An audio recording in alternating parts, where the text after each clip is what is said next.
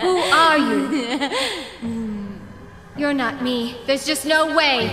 I'd never do the kind of things that you've been doing. Oh, spare me. Just stop it. Why are you acting like the part of me that I hate? I wish you would just go away.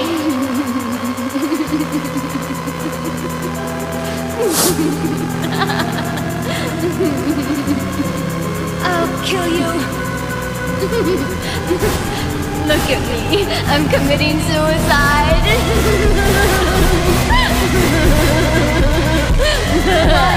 Why are you so warm? Why is it? Why do I have to feel your body heat? Is there no escaping you? But how can you? I'm lame just like you are now.